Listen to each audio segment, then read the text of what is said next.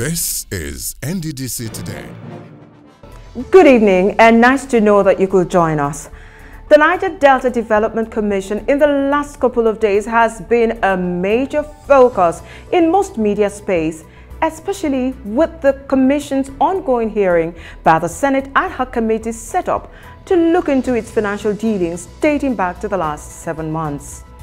In this week's edition of NDDC Today, we bring you blow-by-blow -blow account of the events at the hearing in Abuja which took place last week.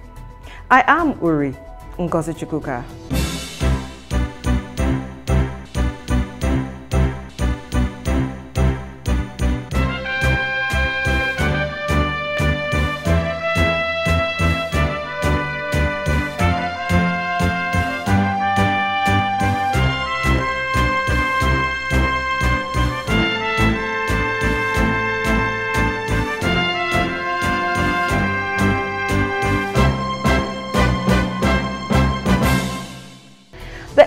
To most Niger Deltans is a child of necessity that must be guarded jealously. And to keep the dreams of the Commission's founding fathers alive, therefore, there must be adequate checks and balances as the events of the last one week has thrown up.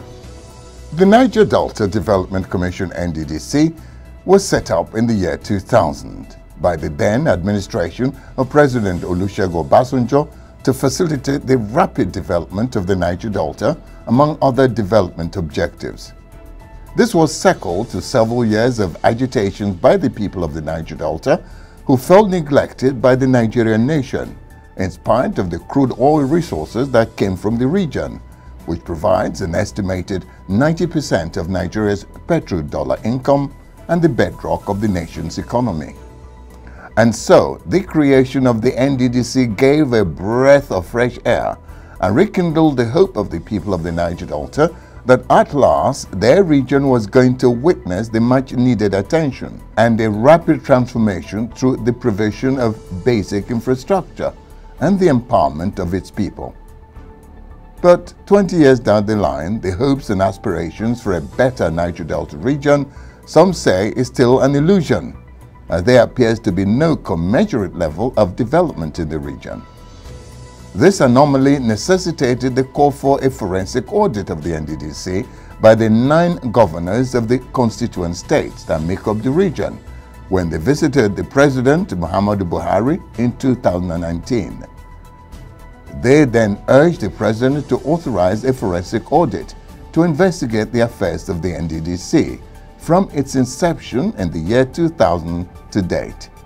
Many think that this was catalyzed by the perception that funds from the NDDC were liberally employed by opponents in the last elections. On October 17, 2019, President Muhammadu Buhari, in his official Twitter handle at M. Buhari announced, I have ordered a forensic audit of the Niger Delta Development Commission. And he went further to say that the amount of money the federal government has allocated the NDDC would like to see the results on the ground. Those that are responsible for that have to explain certain issues. That presidential order for a forensic investigation on the operations of the NDDC from its inception was widely applauded by stakeholders across the Niger Delta region and even beyond. Days later, after the announcement, President Muhammadu Buhari went further to appoint an interim management committee, IMC, to run the affairs of the NDDC as well as oversee the forensic audit of the commission. At the beginning, the IMC comprised of three members, but was later expanded to five in February this year. Then the acting managing director, Gbene John Nunieh, was replaced with incumbent Professor Kemebradikumo Pondei. As soon as the IMC was appointed, it began to witness a barrage of criticisms and allegations of misappropriation of funds from different quarters. A major chunk of the allegations leveled against the IMC centered on financial management. One of such allegations was that the IMC spent over 40 billion naira within three months without recourse to established process of funds disbursement.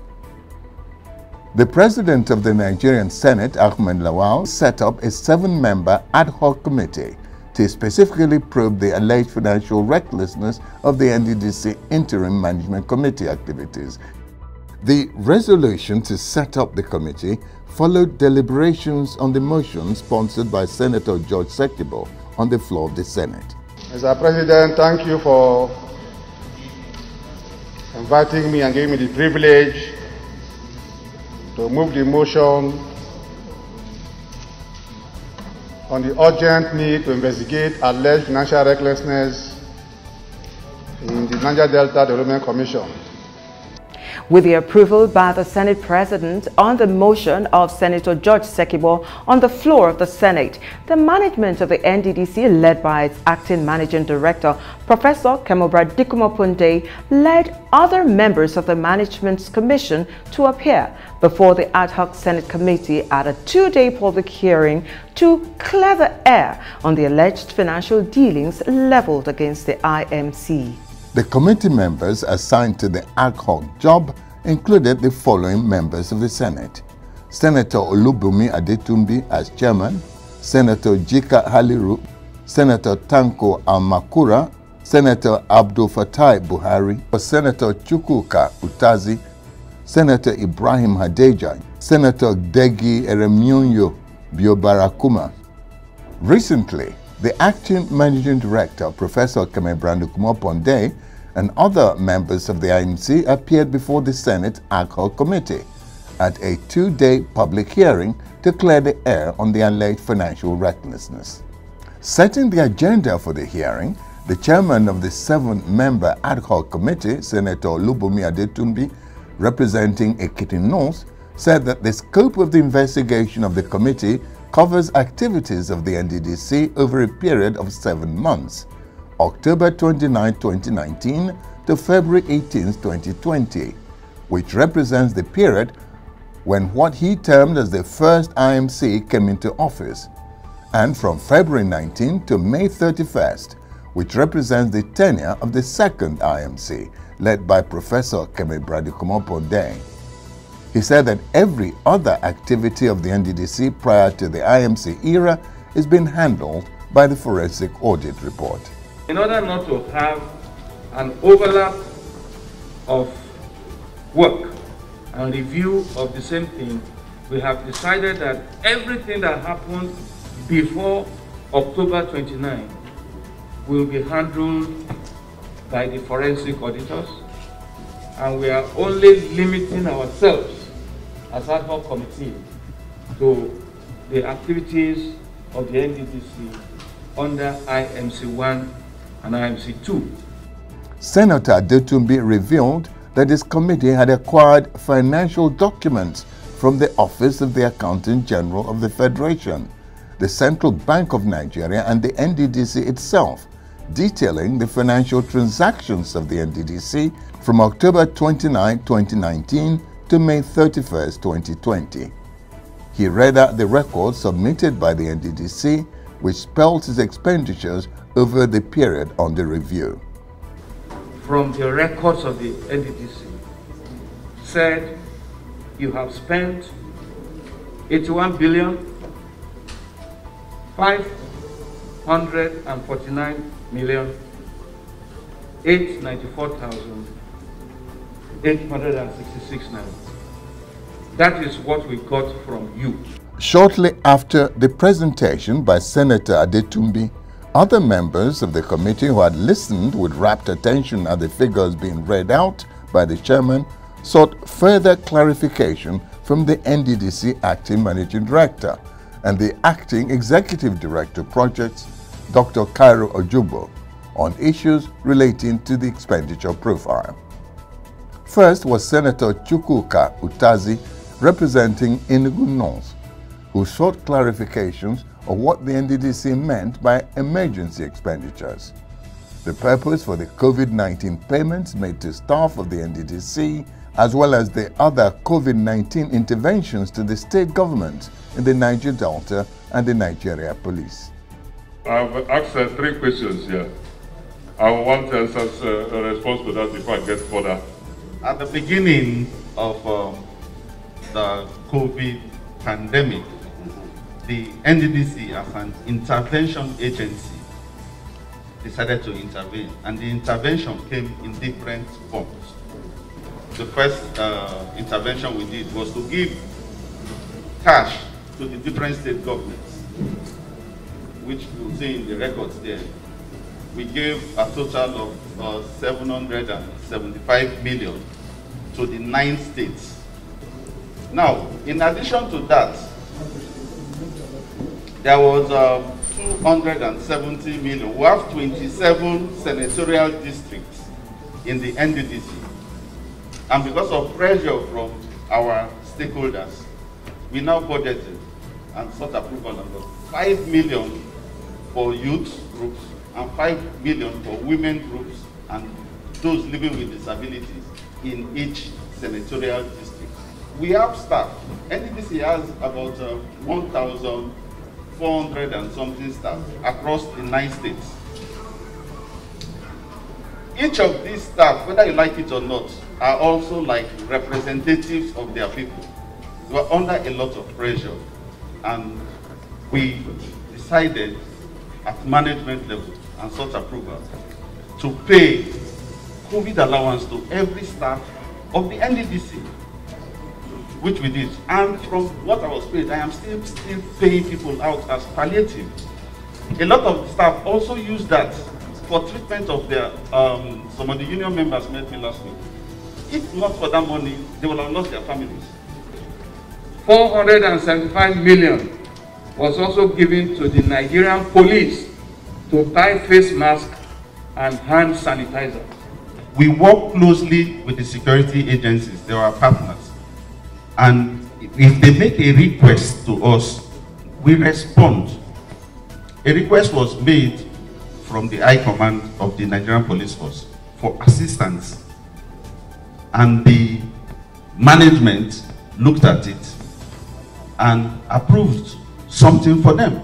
The police, the money paid to police for COVID is for the states of the Niger Delta region. A former governor of Nasarawa State and senator representing Nasarawa South constituency, Alhaji Tanko Al-Makura, in his part wanted explanations on the sum spent on interest by the NDDC management. I would like to know how these interest accounts or monies are spent. During the, uh, the during the uh, uh lockdown, uh, Your Excellency, the special persons were given special permission to move around. Level 0 to 13, if, uh, uh, even till now, till we speak, are still not coming to the office. And we supervise, we, our, our constituency is nine local, uh, uh, nine uh, states.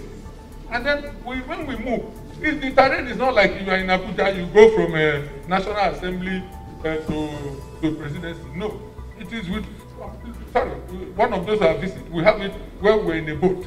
You go by boat, and when you're going by boat, these are very difficult areas. They can kidnap you inside. A lot of difficult. The 51 million are talking about, how much is to hire a boat? You hire the boat. And then when you hire you're not going alone. And you get there, you see communities, they sit down, old men, everybody. And it is that from, from community payment from payment that you, you, you look at them. Forget, don't forget that the reason the NTC was set up was to bring about peace and conducive atmosphere where companies can operate. Since the IMC, have you heard any committee anywhere where there is any dis dissatisfaction? Normally, when you go to the NDDC office, it is jammed. You cannot even walk. But the, this current IMC has managed it in such a way that we ask for the route use, go back to your, to your, to your areas of, uh, of origin. And then we now go to go and eat them. And that is why we have been spending the money for the for the to, to also tell you the money is retired as if in civil service rules. So money, not one penny. has been misplaced. Senator Jika Haliru from Bauchi State asked to know why the NDDC has failed to complete lots of ongoing projects, some, according to him, dating back to 2004. The issue, the question he has asked is very apt. Why? And we have said it here repeatedly, that those whose uh, uh, legs are on the neck of NDDC, you, it's only this committee that can remove uh, the, the, their legs from the NDDC neck so that we. If they don't remove the neck, no project can be completed. When we got to the NDDC, the headquarters building was 40% completed. The minister said, look, work night and day, go and complete it. So we called the, the, the contractor and the subcontractor. They paid them money. The subcontractor disappeared. So we called them back. They said, no, that that's not what they do. That the money paid for subcontractor is for them and for their sponsor. Therefore, they're not coming back. We said, no, we are not going to do that. You must come back. And we started the process of prosecuting them. Then they came back. That is why you see that we can move into the headquarters building. And these are the difficulties in the NDDC that we are trying to cure.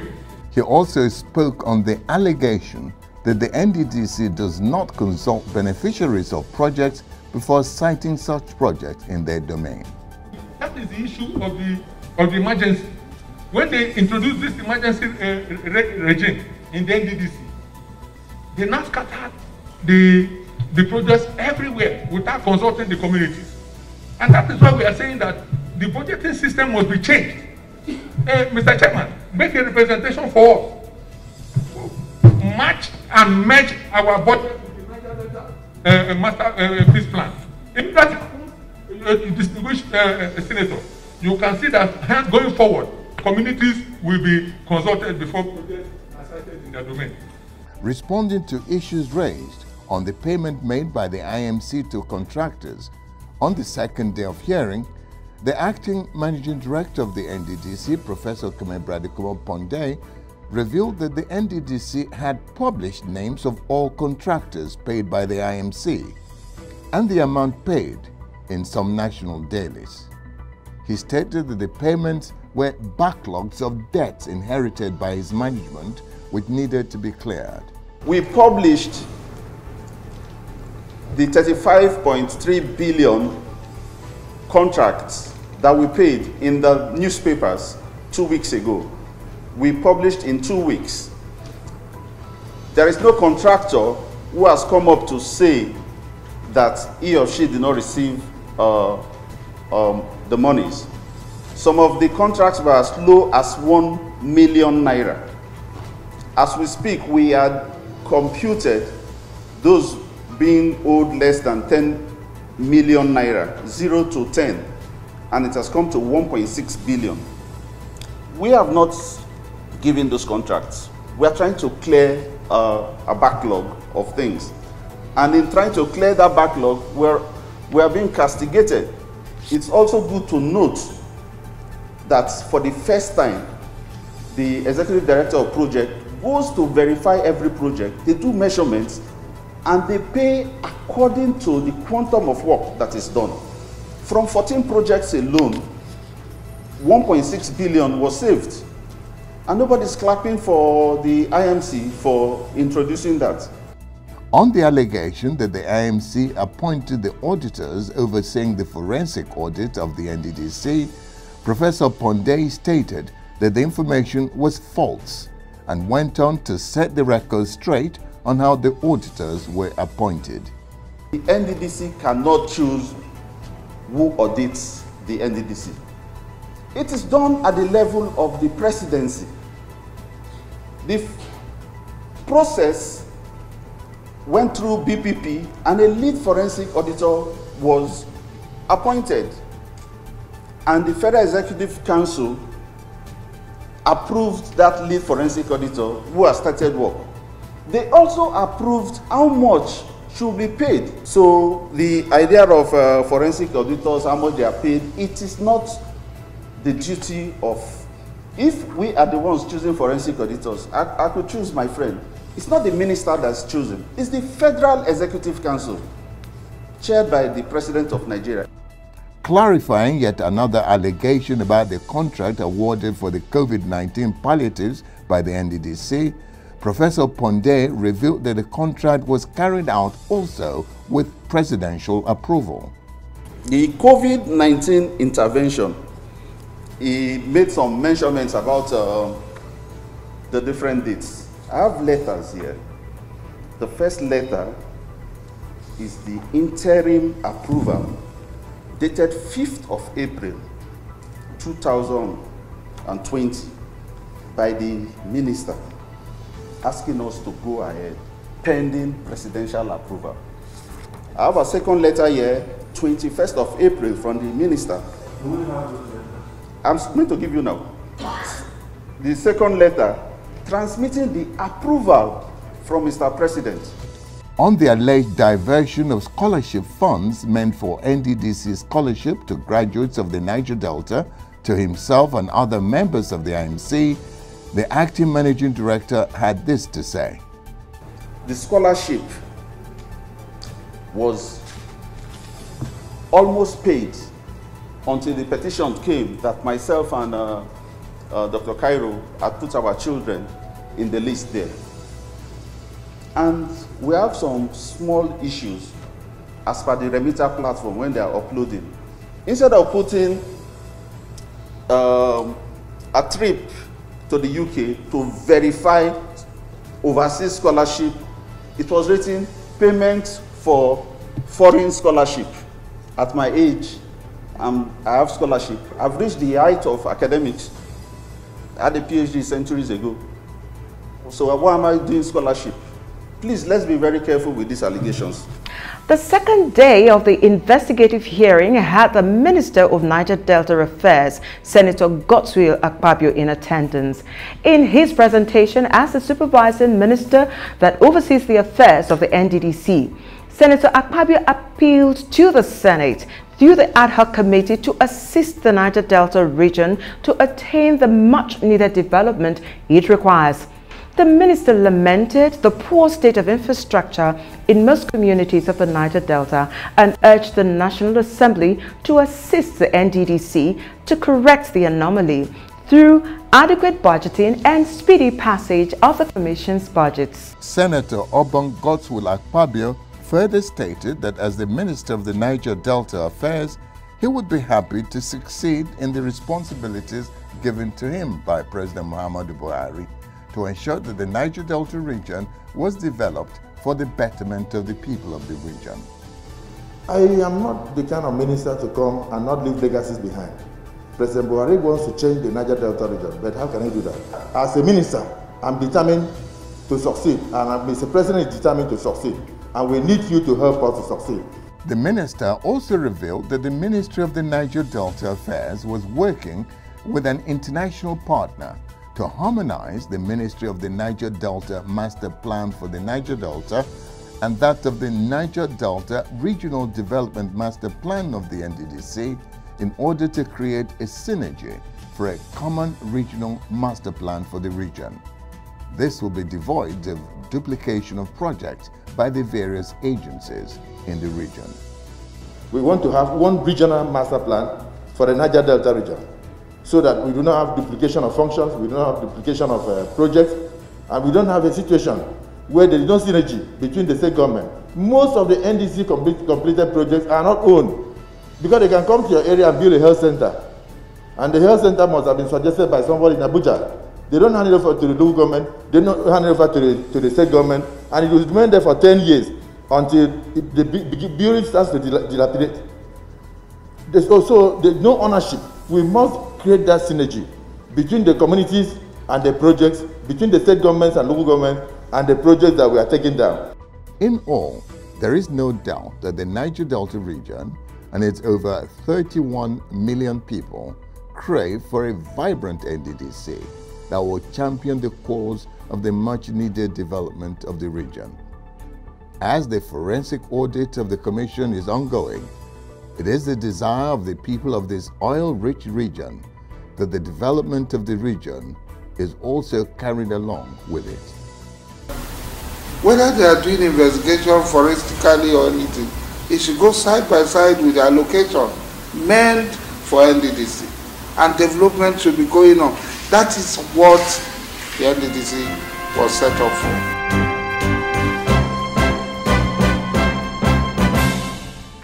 Welcome back. President Muhammadu Buhari has spoken on the crisis bedeviling the NDDC. The president, in a statement through his senior special assistant on media and publicity, Madam Garba Shehu, has issued directives to security agencies and forensic audit firms working with the NDDC to conclude their job in an acceptable time frame. President Buhari said the administration wants to bring about rapid, even, and sustainable development to the region, even as he assures that his administration would put in place a transparent and accountable governance framework, not only in the NDDC but in all other institutions of government. The statement added. In a similar development, the South-South Governors Forum has backed the forensic audit of the NDDC through a statement issued by the chairman of the South-South Governors Forum and Governor of Delta State, Senator Dr. Ifeanyi Okowa. The statement reads, The South-South Governors Forum has backed the forensic audit of the NDDC, ordered by President Muhammadu Buhari expressing optimism that the audit will help put the Commission on a sound corporate governance footing and reposition it to better deliver on its mandate. The governors, in a statement by the forum chairman and governor of Delta State, Dr. Ifeanyi Okowa, said, We believe the Senate is operating within its oversight functions through the ad hoc committee set up for that purpose it behooves us to respect the Senate oversight function and allow it to discharge this responsibility in a fair, transparent, and equitable manner. The South-South governors are desirous to see an NDDC that is fully alive and responsive to its mandate of accelerating infrastructural development of the Niger Delta region and enhancing the general living conditions of our people. Hence, we will not hesitate to give our unqualified support to any policy initiative that will make this a reality. Finally, we wish to reiterate our stand that both the forensic audit and the Senate investigation should continue and be concluded with dispatch so that the NDDC can quickly return to its role of advancing and protecting the development aspirations of our people. At the end of all of this, one thing needs no begging, and that's the fact that the NDDC must fulfill its mandate, come rain, come shine. Now, any process that will position it better to achieving this purpose is a step in the right direction. We will be here next week to beg this prayer. Thanks so much for watching and good night.